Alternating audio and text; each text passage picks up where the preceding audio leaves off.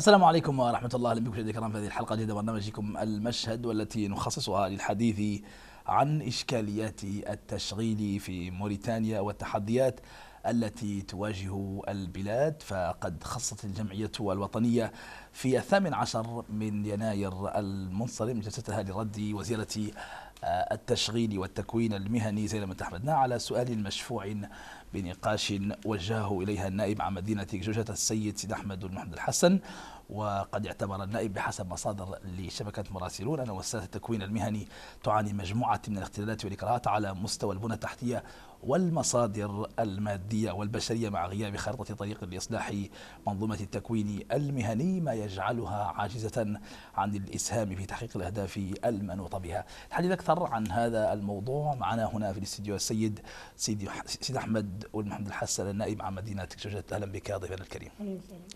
بداية ما هي أبرز الإشكاليات التي تواجه عملية التشغيل في موريتانيا من وجهة نظركم؟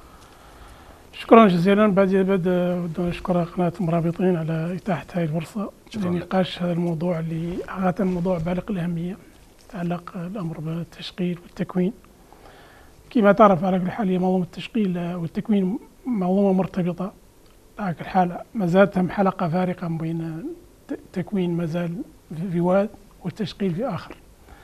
وياك يخلق تكامل لابد أن يكون هم هذا الفراغ والله هذه الحلقة المفقودة بين تخاطب بين المنظومتين ما زالت مفقودة. يلا نشوف آلية قاعدة تتحقق منظومة التكوين المهني على كل حال هي منظومة من منظومة التعليم عموما التعليم العام في البلد. وفق ما ينص على ذلك قانون التوجيه للتكوين التعليم اللي هو الصفر 23 2023 اللي هو قانون التوجيه هذا القانون.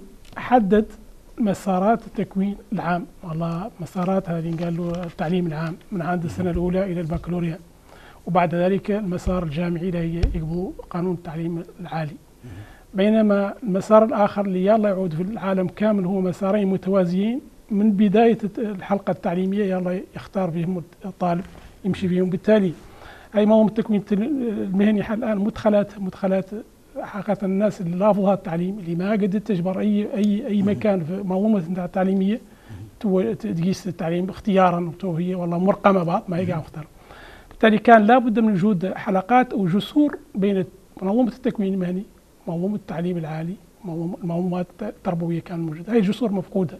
لأن اليوم هاتي القانون التوجيهي واحدة من المادة وهذه أنا المادة بنص مادته 2 و9 على على حال على منظومه التكوين المالي جزء من من النظام التعليمي العام للبلد وكذلك في مادة واحدة وقرر حال هو هذا مسارات التكوين تحديد مسارات التكوين المهني إلى القانون التكوين المهني والصادر 2018 اللي مادة 11 كان يلا يحدد المسار اللي يلا الطالب من يقعد في التكوين المهني يوصل لمرحلة البكالوريا في والله ال BT ولا BTS منين يوصل؟ حال الأفق الآن مسدود في هذه المنظومه منين يلحق BT ولا BTS هي أكبر شيء موجود فيه. متى الطالب عنده معناتها عنده جسر قاعد يواصل به التعليم العالي ولا عنده جسر قاعد حتى الشهادة اللي يقبضها نفسها حتى الآن ما فتحت ما فتحت ما فتحت لكن هنا هنا هنا قد يقول لك البعض إنكم تحملون وزارة التشغيل أكثر ما تحمل لأن هذه اختلالات قد تكون مسؤوليتها على وزارة التعليم العالي على تقادم المناهج على الطريقة, الطريقة التي يتم بها يعني تخريج هذه لا لا شفت التعليم التعليم العام كان واضح في المسارات. ولا بد من يكون في تناقم بين مسارات التعليم عموما. تعليم في تعليم عالي وتعليم النظامي العادي والتعليم التكوين المهني. ويجب على الطالب في المنظومات اللي قدرت تنجح في منظومه التكوين المهني لأن لأن هم تلاقوا هم جسور بين هذه الأنظمة اللي ما دامت هذه الجسور مفقودة أنا كطالب أنا كأب تلميذي ماني نخليه قاعد يدخل مسار التكوين المهني لأنه ما عنده أفق. الأفق مسدود فترة معينة منين الحق BT شهاده BT اللي هي من سنتين تكوين سنتين والله BTS تكوين ثلاث سنوات. هذا منين الطالب جاد وعنده كثير من الكفاءات والخبرة. ما عنده أفق قاعد يواصل فيه تعليمه. كان يلا نفتحوا له جسر وعد التعليم العالي على الأقل قاعد يشارك يعود في هذه المعاهد الأخرى التعليم العالي. بالتالي يعود الطالب من البداية قاعد عنده حلقات عنده هواية. قد تقول مدخلات هذا النظام اللي هو التكوين المهني تعود مدخلات نفسها مدخلات قابلة للتكوين. معناها مادة عندها قابلية بس واختيارات وهذا نجد في ألمانيا وفي كثير من الدول اللي نظام التكوين المهني أصبح يتناقض مع مع حاجيات السوق. هذا الخلل الأساسي فيه. قلت لك عنه يحيلوا القانون النظامي للتكوين المهني. يحدد ماده 11 عن يلا هم مراسيم تطلع تحدد مسارات التكوين المهني وتلاقيها مع مسارات التكوين الأخرى. وهذه هذه حتى الآن مراسيم ما دخلت ما ما صدرت إلى اليوم. كذلك مادة 48 يحدد عن مهمات إياها. آه، لجان توجيهية مشتركة من القطاعات العمومية كاملا. هي تعمل تعطي رؤية توجيهية لهذا النظام التكويني المهني نحن نكون لاش. نحن نكون سوق عمل. يجب أن نكون عندنا معرفة اولا بسوق العمل. شنو احتياجاتنا في سوق العمل؟ اليوم اتي منين نشوف دراسة السوق؟ إحنا ما عندنا دراسة السوق نكون نفس التكونات عندنا نفس الورش وعلى أساس كل ورش يعني نقبضوا الناس. ما يعني كانوا مطلوبين في السوق ولا ما مطلوبين هذه هذه لكن سوق العمل أيضا هو الآخر في النهاية لا لا يذهب إلى الجامعات ومراكز التكوين للبحث عن لأن لماذا؟ لأن لأن كما قلت لك هذا الجسر هذا التناقل بينهم الأثنين ما زال مفقود الحلقة مفقودة لابد أن نبحث عنه لابد من اصلاحها ياك ياك نعود نكونوا من أجل شيء موجود في سوق العمل. ما نكونوا ياك كونه أفواه مفتوحة ما ما تقدم خدمه للجذور بالتالي هذا هذه هذه هذا الفراق اللي موجود هناك لابد نسدوه. هذا القانون من نفسه قال عنه يجب تشكيل مجلس وطني للتكوين المهني والتشغيل. هذا هذا المجلس يحدد مسار يحدد هو بنفسه احتياجات فيه في رجال الأعمال وفي الأسواق. هذا من الجانب الفني والقانوني. يعني أنتم ذكرتم في مداخلتكم آه، أو تساءلتم عن انعكاسات التمويلات والمبالغ الكبيرة التي تلقاها القطاع على التكوين وعلى التشغيل. لو تعالج هذه النقطة بالتحديد. نعم شفت إحنا في نظامنا التكوين المهني اهتمينا بالكم وكيف في النظام التعليميه كامله أكثر من الكيف. بالتالي فتحنا الكثير من المراكز بدون بدون بدون تقييم القدرات هذه المراكز اللي هذه المراكز اللي هي منين تشوفها؟ شوف الورش ما عندها كاع ورش ما عندها شيء. إذا والطواقم التربوية كثير منها هاجر هذا القطاع اللي هو به اللي ما راه فيه نفسه. للناس مهندسين وفي الناس اللي حقيقة قدرات طيب مضبوطة. اليوم تلقفت الشركة اللي شهور شركات الاخرى شو رقم قناعته هو بالتعليم وعنه قاعد يكون في شيء يغرقع مرة شي كاردو بين ورش متهالكة. رقم هاي المبالغ اللي ضخت والاهتمام اللي جبر حقيقة في الفترة الأخيرة. وياسر من التمويلات شيء منها دولي وشيء منها وطني. الا أن هذه التمويلات كلها ما انعكست على على قدرات تحسين قدرات الفنية. ولا ولا ولا القاعدة اللي بعد قاعد التعليميه بس هاي المراكز اللي هي من تشوف ورشات ورشات متهالكة. إحنا اليوم في عالم حتى قاع هاي المهن الموجوده عند اليوم ستختفي. بعد خمس سنوات ست سنوات ستختفي لانها ست... لا, لا بد من هاي المنظومه اللي هي تعمل بسرعة مضاعفة ياك نقدر نتداركوا على الأقل نحافظوا على الموجود من الوظائف بعد قاع لا يوقد يخسر. بين اليوم نشوف ميكانيكي مثلا ميكانيكي سيارات اليوم. اليوم عدد سيارات اليوم آه، بنيتها هي نفسها تغيرت. معناها عات إلكترونية اغلبيتها معناها هذا الميكانيكي اللي قاعد مشبك سواعده منين يتم على لا يبقى على قارعة الطريق. معناها إنه ما لا يفقد وظيفته. وفي مهن جاية اليوم يلا نعود نفكروا فيها. ونعود نهي والهي نشتغل إياك نعود ما, ما, ما نعود الصبح. دائما ماشيين ماشيين. هنالك خلل في عدم مواكبه معناها لا السوق اللي موجود فيه. واضح ما أنا ما أنا ما أنا قاعدين نسيطروا يبي لي فما تياميها اللي تختفى علينا سبحان وهل هي الله إحنا مسؤولين عنهم يلا نطوروا معارفهم وتكوينهم ويعود عندهم آلية لتطوير هاي المعارف هذا أيضا يقودنا إلى نقطة أخرى ذكرتم بالرغم أنكم قلتوا أنه لا أحد يجادل في أن منظومة التكوين المهني لم تعد تستجيب بشكل فعال بحسب مداخلتكم عرفت أيضا إلى إلى تدني مستوى الكفاءات سواء على مستوى المهارات التقنية أو العملية. نعم هو الخريجين هو الخر هو هو, هو المتخرج على حال منظومه فيها مكونين. قدوا يعطوا شيء نظري ويقعد عندهم خلفية نظرية مع رقم عن القطاع المهني. معناها قطاع متسارع. المكون من نفسه بحاجة على إنه يعود يعود يبذل جهد مضاعف ويعود عنده تكوين مستمر. ياك يد بعد قاع ذل التخصص اللي عنده قاعد يتم مواكبه وقاعد يتم يقدم فيه شيء جديد. لأنه هو متغير معناها متغير مع ما هو موجود متغير التقنيات الموجودة. والطالب اللي هو نفس الشيء الله يعود عنده بيئة قاعد على الأقل يطبق فيها يقرأ ويشوف.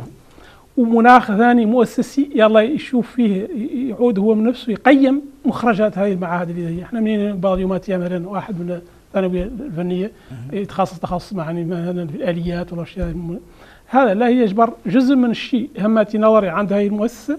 يلا نعودوا فاتحين الافاق مفتوحة له نوافذ مع هذه المؤسسات اللي عندنا يوماتيها قاعدة هي المؤسسات تعطينا تقييم رجع. تقييم مخرجات نحن ماذا تلاحظون فيها؟ على ذاك الأساس قاعدة هذه المناهج تتطور وقاعدين عندنا منظومه تتناقم مع حاجة السوق لا أنتم مكاملين قاعدين ونقولوا إحنا ما عندنا مدى خبرات ما عندنا كيف نحصل على الخبرات كيف نحصل على المعارف بدون تناقم بين بين مؤسسات التكوين المهني وسوق العمل اللي هو الشركات المؤسسات الوطنية اللي الله تفتح. أبوابها قدامها خريجين هذه المدارس اللي لما تقول مؤسسات تعني بها مؤسسات الدولة من القطاع الخاص أيضا. القطاع الخاص والقطاع العام. مسؤوليتنا جميعا هذا مسؤولية ما هي لأن القطاع الخاص لا يمكن أن تفرض عليه أن وظيفه عامله مثلا. إحنا لا لا نفرض عليه أنا قاعد القطاع الخاص القطاع الخاص بدوره على كل حال كواجبات يلا يعود عنده واجبات تجاه هذه الاجيال اللي هي هو هو يشتغل من أجل يد عاملة وطنية يلا تعود توظف ويلا تعود خبرة. كل ما كانت عندك خبرة كل ما كان أداء هذا القطاع اللي هو أحسن وجود لكنه يبحث عن إنتاجية سيبحث عن شخص يعني لديه مهارة قوية. المهارة كيف ربما, ربما لا تتوفر في الأشخاص المهارة كيف تخرجهم المهارة كيف تحصل عليها هؤلاء هؤلاء تحصلوا على المهارة لا لانهم فتحت لهم آفاق. قد كثير من الناس اليوم اللي موجود للأسف الشديد من يشوفوا هاي الأماكن اليوم فيها اللي ضايع عندنا فيها الكثير من فرص شغل.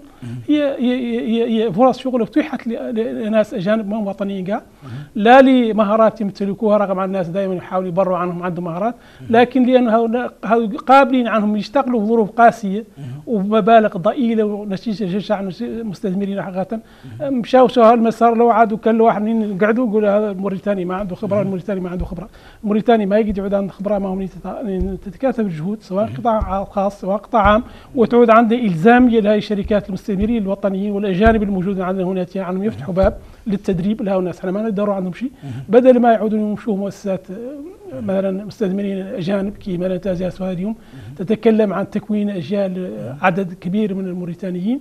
في حين هي ليست ما هي ما هي وظيفتها تكوين هاي الناس وظيفتها عنها تحسن من قدرات هاي الأماكن اللي تكونها الشباب الموريتانيين وتفتح افاق لهم اللي عنهم قاعدين يدربوا ويشوفوا هذا اللي يقرأه ويشوفوا واقعا ويعود على الأقل لهم تناقض بينهم ومؤسسات التكوين قاعدين يخلق فيه تقييم بيناتهم. منين يعود؟ لا كله يرمي بالثقل على هذه على هذه المؤسسات. هذه المؤسسات ما تقدر تعطي أكثر ما ما, ما متيح لها أصلا. لكن في الفترة الأخيرة أيضا شاهدنا أيضا بالتزامن مع انعدام التشغيل وفرص تشغيل هجرة الشباب إلى الولايات المتحدة الأمريكية التي شكلت الأخرى عائق مهم في هذا المجال. آه، برأيكم سبب هجرة هؤلاء؟ هل هو عائد يعني إلى انعدام الفرص؟ يعني عدم وجود فرص عمل عدم آه، وجود فرص كافية أم هي فقط موضة يمكن أن نسميها إن صح؟ التعبير على كل حال ما لا أظن أنه انعدام فرص العمل نفس الفرص العمل لا يلقاها الشباب في الخارج. متوفرة بالكثره لكن لكن, هل لكن هل هو نفس الراتب؟ هل هو نفس لا لكن هذا هو الجيل نفس الفرص الموجوده متاحة. لكن هذه الفرص اللي هي أتيحت لغيرنا أتيحت لياسر من الناس اللي أجانب. إحنا إحنا للأسف الشديد كما قلت قلت لك لابد منين ما نستدركوا عن يعودوا هماتها مهن وطنيه جبرا عودوا الموريتانيين الوحيدين اللي يقدروا يستخدموا هذا النزيف سيتواصل. حتى الناس قاعد تشتغل دور تمشي. به اللي حقيقة اليوم منين تشوف؟ إحنا اليوم عندنا ميزانية كبيرة من جانب استثماري مثلا ضخم. والمجور منه أصلا الفلسفه فيه انه يلا يخلق آه، ثروه يخلق استثمارات على أرض الواقع وذيك الاستثمارات ينشأ عنها فرص عمل جديدة للمواطنين الموريتانيين. هذه الاستثمارات اللي قالبية على تعود مثلا في التجهيزات في البنيه التحتية اللي يلا يعود تستقطب ياسر من الأعمال الوطنية اليوم. تخرصت تجب عليها قالبية زي ما قلت لك 100% أعمال أجنبية. ذلك لا يشتروا المعدات شارين من أسواق أجنبية معنا استثمرنا في اقتصاديات أخرى. وهذا لا يشقل فيهم واللي آه، شيء من الاجانب جايين مثلا النتيجه اللي عندنا دائما المستثمر فينا جشع يبقي الربح ياسر. لا يلود لا لحد لا يجي يشتغل في الظروف القاسية اللي وهذا موريتانيا ما مستعد له. وبدون مولي بدون بدون رواتب دنيئة جدا لا, لا تضمن له شيء. وهذا ما لا يقولوا الشباب ولا يمشي هاجر منين ما تعود همات يا قوانين. ورقابة. حاجة القوانين موجودة يا غير تطبيقها وتشييزها على الواقع ورقابة قريبة من هذه الاستثمارات اللي هي. هذه حقيقة الفرص لا يتم وهذا النزيف لا يتم لا ماشي. هي وصلنا النزيف الاقتصادي من الناحية المادية وسوى النزيف البشري اللي إحنا ثقلنا عليه ياسر في تكوينه وتأطيره. وبعدين له هو يشتغل ويستخدم اقتصاديات ثانية تنمو به. وإحنا بحاجه له هذا حقيقة يلا يفكر به اللي ما نقدروا نتموا نكونوا كاع ونخرصوا تكلفه التكوين. بس نتاو نحسبوها إضافة لتكاليف النقل هذا الناس تمثيلا للطرف الآخر آه، وزارة التشغيل في النهاية تحدث عن مشروع كبير جدا تصفه بالطموح وأنه خلق العديد من الفرص تحدث هنا عن مشروع مستقبلي لتقول إنه وفر آلاف الفرص للشباب. هذا أيضا يمكن أن يحسب هو الآخر كخطوة مهمة جدا لتعزيز أو لمحاربة البطالة في وسط الشباب. ما نرى على كل حال هذا المشروع والمشاريع التشغيل حقيقة. نشوف فلسفتها نفس البناية اللي كانت نفس الفلسفة نفس التوجه اللي كان عندنا من من من, من الثمانينيات ما زلنا ماشيين عليه ولا قد يحل هذا يلا نقفوا وقف التأمل وما ممكن تعدى المسارات لكن في شباب استفادوا من هذا المشروع استفادوا في شباب قبلوا تمويلات بهذه المشاريع واليوم موجودين في بلدان أخرى ما هم ما موجودين على الواقع رصف الحيط. رصف الحيط مشاو معناها إحنا خسرنا تمويلاتنا وخسرنا وظائف هو اللي اهم من هذه المشاريع أنا شنو تبنى على أساس إيش؟ يعني يعطوك مشروع على أساس بالعالم يبنوه على أساس تنشيط اللي قالوا المؤسسات الصغيرة والمتوسطة والمتناهية الصغر، هذه المؤسسات هي هي الرافعه الاقتصادية في البلدان كامله، هي اللي تعدل الاقتصادية وتحرك التنمية فيها. إحنا للأسف الشديد نديروه بشكل شخصي، أنت فلان عندك تجيب لي مشروع زين يعود قاعد مشروع جيد وفي جماعة مع هذا المشروع أنا أنا أتوخى من وراء أنه يشغل لي 10 أشخاص. مول 380 شخص لأن اعتبر عن كل واحد من المشروع من مليون عنده 10 رواقش معناه أني عندي يتجاوز 100 فرصة عمل قديت نستقطبها. للاسف الشديد هذا ما هو الواقع. من تشوف هاي المشاريع اليوم يقبضها شخص معين من يجي لا يتمول ولا يقول شوف صار مع هذا النهاري. هذا التمويل اللي عندك اللي هو هذا هذا الجانب المشروع اللي هو طرحانك جنبا. واشتري لك ويتا ولا كلاطة خامرة لا توقد انت تخسر بعد قاعد تهمك وقتك فيها. ولكن يدخل شو فرص العمل حاسبين إحنا وحاسبه عليه الدولة يمتصد ما خلقت. بالتالي التمويل هو نفسه حقيقة يلا يراجع يا فلسفته من نفسه تراجع. ما وحده التمويل. أنا تشوف كم مجلس وزراء فيه كثير من هذه قال له الشراكات ولا هذه قال له الشركات آه، بطاقة في إطار نظام الاستثمار الوطني عماتية هذه آه، الشرائك مثلا تعطيهم الدولة امتيازات معينة يعفيهم من الضرائب كذا من السنة. تعطيهم كنوع من التحفيز. التحفيز تعطيهم قطع أراضي كبيرة وين قال لك هذا المشروع يستوحى منه عن يوظف 100 آه، وظيفة دائمة وكذا من وظائف غير دائمة. غير هذا يختفي نهار والله اثنين من الصبح يمشي مولاي يبيع القطع الأرضية يجبر من التمويل يفرنش ما يبغى وامتياز نضيع للدولة امتيازات ضريبية كانت يلا تدخل للاقتصاد الوطني تضخ فيها ويضح أنه مولي فرص عمل كانت ضايعة لكن أنتم أنتم أنتم نائب في الأغلبية آه، الموريتانية. وأيضا هنا في حديثكم قلتم أن فخامة رئيس الجمهورية في عدد من المناسبات دعا إلى تطوير منظومة التكوين المهني والآن تتحدثون عن وجود هذا النوع من المسلكيات شخص يبيع قطع أرضية وأن هنالك اختلال كبير في قطاع آه، التشغيل. يعني كيف تتحدثون عن هذا؟ أن رئيس الجمهورية لديه يعني إرادة ودعوة إلى إصلاح القطاع وفي النهاية هو الآن صار له مثلا أربع سنوات رئيس أو خمس سنوات حتى وما زالت هذه المسلكيات في آخر يعني ما أنا, أنا مسلكيات أنا قاعد أرد بعدها ما هو قريب. أنا أنا قضية تراكمية جاية من بعيد. يعني بعد ما انت قاعد اتكلم عن هذه الأمور غير بعد جاية من بعيد هي نفسها آه، خلل هيكلي. معناها خلل هيكلي إحنا اللي ندوروا شنو؟ يلا نوقفوا التامل اللي ندوروا هذه المشاريع.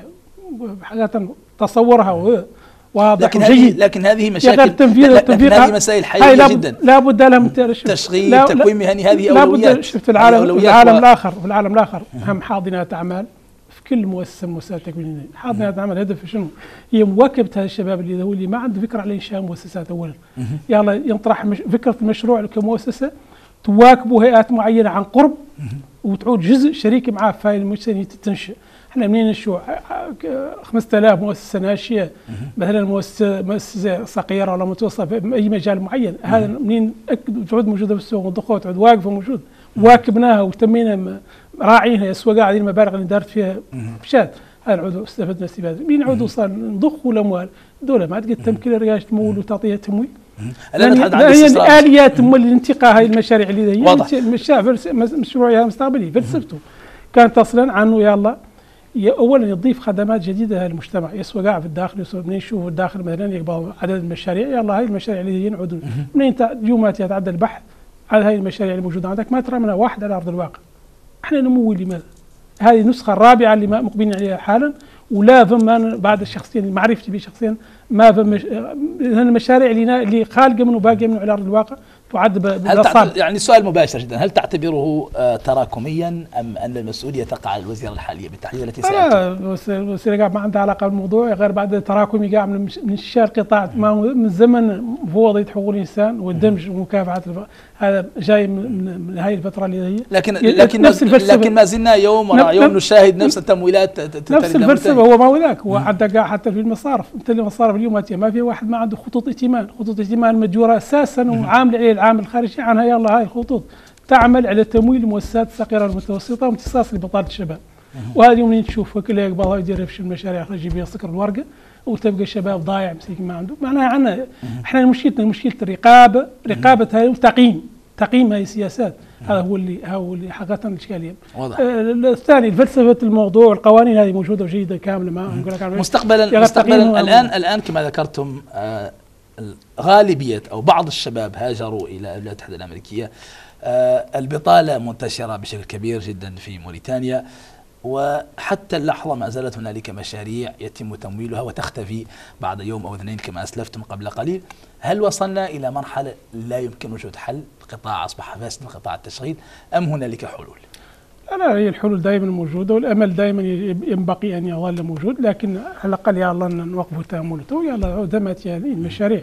هل هل هل هل الآن وصلنا لمرحلة دق ناقوس الخطر إن صح التعبير ولا بد أن نقول لك عن اليوماتية هذه المشاريع اللي تقوم. إحنا إحنا خارج الشيء قال مرحلة تقييم. تقييم وقياس الأثر هاي المشاريع. هذا مازال قائم موجود ولا بد من يعود موجود. هذه قالوا التشغيل ما هو مسؤوليه قاع وزارة وحدها هذا التشغيل قطاع أفقي. معناها الناس كاملة يلا تتقاطع فيه.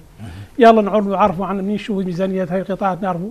أنت جديد تخلقي لي كوزاره بهاي المبالغ اللي لك من فرص عمل لهؤلاء المواطنين عدد اليوماتيه وندرى كان عندك جهاز رقابي قاعد يراقب التشغيل هو نفسه مشتت بين التشغيل والشغل. وعاد دمه هدر بين القطاعين لا مثلا ياك مرق رصاص أخطاء ولا متابعة شيء لابد لك تعدل دورة كاملة حول حول حول القطاعات الحكومية. بينما هو يلا عاده يلا تعود رؤيه وطنية تتقاطع حول الاستراتيجيه الوطنيه للتشغيل تتقاطع حول القطاعات الحكومية كاملة والقطاع الخاص حتى هو يلا يعود داخل اللي وقع اللي رافعه الأساسية لتشغيل القطاع الخاص. اليوم مات الدولة ماتت بالمحرك غير يلا من خلال هذه الاستثمارات تعود حريصة على الفرص اللي متاحه فيها واللي يلا تعود معروفه يلا تخلق حاجات المواطنين. ويلا مولي هاي الفرص ما يتم لا يجينا اتفاقيات مع اتحاد أرباب العمل والله ما اتحاد العمل يقبل 5000 ولا 5000 هذه 5000 يلا مين يقبل اتحاد يلا نعكس الصبح والنهار الثاني عند الصندوق الوطني للضمان الاجتماعي وعند الصندوق الوطني للضمان الصحي. هذه هي الفرص الحقيقية. هذا الآخر ضاع فيه حقوق للدولة وضاعت فيه حقوق للمنظومة اللي هي الله تعود دعم للنظام الصحي وتمويل النظام الصحي. هذا ضاع فيه وضاع فيه حقوق العامل من نفسه لأنه ما عنده شيء مكرون كاردو بعيد وقاعد يضمن له حقوقه. وبالتالي هذا نوع من التشغيل أنا شخصيا لا احسب ماني حاسبه تشغيل كاع ولا عندنا من ليبراليه التشغيل هذه عندنا. ما عندنا كاع ما عندنا رؤية عن هذا اللي قال له آه، البطاله كم عددها وشنو موجودة فيه. وبالتالي العودة باطله رجع عن عن منظومه التكوين المهني. يا الله تعود همات يا مزاتهم حلقة مفقودة بين هي والمنظومه الاقتصادية. هاي هاي هاي هاي الحلقة ونظام التعليمي مولي بيلي ما يخلق جسور بين هاي الانظمه لا انت مخرجات ضعيفة. والمخرجات ضعيفة مدخلات بعض ضعيفة. المدخلات الضعيفه قطعا لا تتوقع عن شيء. اللي قاعد تخرج تكون يبقى يعني قال له تخاطب ولا لقى مع واحد ما هو متمكن كيف يقد يخاطب كيف يقد يعدل تقرير هذه اللغات كاملة اللي موجودة هذه مشاكل التواصل. مشاكل التواصل مازالت مطروحة. هي حتى الأخرى. آه، والشركات الأجنبية اللي مازالت حقيقه دورها خافت في تشغيل التشغيل الوطني وتحت فرصة للتدريب كاع ما وقع ما بعد شباب التشغيل قبل أن نختم في نقطة أشرتم إليها متعلقة بالرفع من تنافسية المقاولات الوطنية. هذه النقطة بالتحديد لو تعرجون عنها. هذه النقطة هي لا يشت... لأن قطاع المقاولات والآخر هنالك حديث عن كثير المقاولات الوطنية السبب الأساسي والمشكلة الأساسي كما قلت لك اليوم هو مين يعود فيه كادر وطني.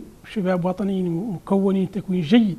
هذا سينعكس على المقاولات الوطنية. استثمارات لا يعودوا عندهم مواقع في هذه وبالتالي لا يعودوا إضافة لهذه الشركات الوطنية وهذه المقاولات الوطنية ويدوروا قطعا يحسنوا من وسائل الإنتاج ويحسنوا من تنافسيه اللي الخدمات اللي يقدموها هذه الشركات آه، مقارنة مع الشركات الأخرى العالمية. إحنا اليوم ما الله نعودوا نحاولوا نحصروا اللي قالوا التشغيل في سوقنا الوطني بلي سوق ضعيف سوق مازال محدود يا غير ريال نعود عندنا آليات وهيئات قاعدة تعد هذا الشباب الوطني إياك يحضر بها الاقتصاديات الدولية اللي لابد اليوم مدى تندمج فيها اياك اياك تقد على الأقل.